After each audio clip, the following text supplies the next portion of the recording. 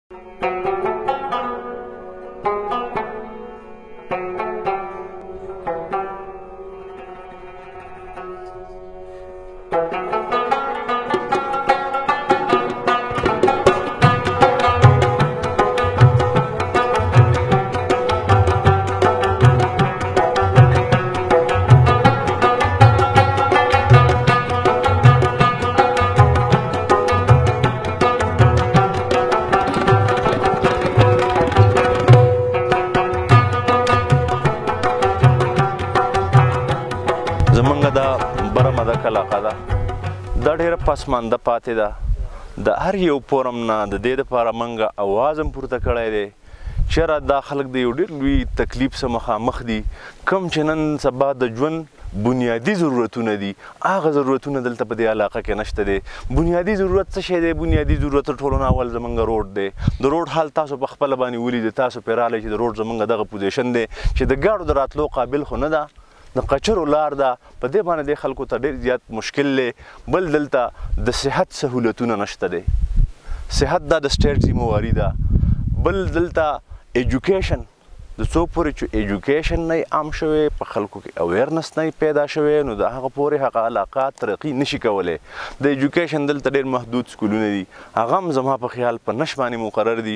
نو مونږ ویل چې دلته پولیټیکل انتظامیه مونږ راولو هغه د دې خلکو مسلې واوري دا کومه علاقه چې پاسمانده پاتې ده دا په خپل باندې وګوري چې آیا دلته کوم ضرورتونه دي باقي تاسو بل سوال د امن او امان په حواله باندې وکړو نو د امن او امان په حواله باندې خو د دې قوم د ټول باجوړ به خصوصا زه به د سلارزو خبره وکم ولې چې زه په سلارزو کې اوسېږم زه په سلارزو کې پاتې کېږم په هغه کې چې د دې خلکو کمی قربانیانې دي د خلکو کمی قربانیانې ورکړې د ملک د پاره د دې قوم د پاره نو هغه د چانه پټي نه دي باقي د حکومت په قربانیانو باندې کاغه زمنګ ایپسی دا کاغه زمنګ لیویز دا بشمول زمنګ علاقائی کم مشران چې دي کم عام مولس چې دي داغو د امن د پاره ډېر قربانیانې دي د دې خلکو د قربانیانو په وجه باندې دلته پچانوې فیصد امن چې کوم دی دا بحال دی انشاءالله دلته هیڅ قسمه داسې د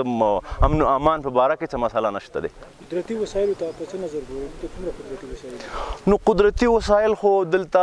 شته دی، په دې کې هیڅ شک نشته دی، دا غرونه ټول زمونږ د وسایلو نه مالامال دي، خو خبره دا ده چې کوم ځای ته د روډ سهولت نه وي، دا غرونه زما ټول ډک دي د وسایلو نه، خو زه یې په خپل ضرورت باندې نشم راوستی، ولې چې یو ځای ته روډ نه وي تللی نو ته به ګاډی ردی جی نه د ماربل شته دلته کرومایټ شته زمنګ سره نپرایټ شته دی په دې غرونو کې خو چونکې د روډ ډیره غټه مسله ده د څو پورې چې د عراقې ته روډ نه راغلی هم دغه پورې دا علاقه به هم دغه سي پاسمانده پاتې او دا ترقی نشي کولی نو زه ستاسو په واسطت باندې حکام بالا ته د دې قومي کوم چې مسائل دي چې هغه د صحت ده هغه د ایجوکیشن ده هغه د روډز ده نو دا زه ستاسو په واسطت باندې ګورنر صاحب ته پولیټیکل ایجنټ صاحب ته څومره چې دلته ذمہ دار محکمې دي